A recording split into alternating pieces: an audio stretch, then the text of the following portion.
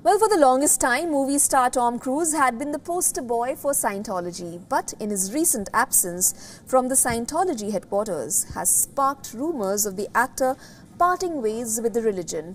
More details in our next report.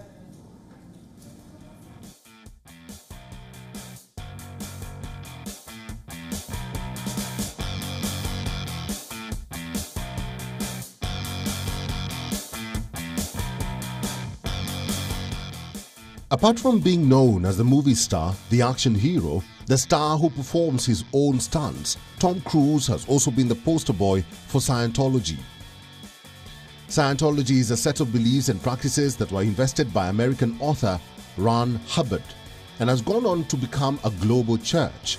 The core belief of the church or Scientology is that a human is an immortal spiritual being called a thetan that is just a resident in a physical body. So essentially, we rent, not own, our bodies. Tom Cruise had been one of the most high profile members of the church.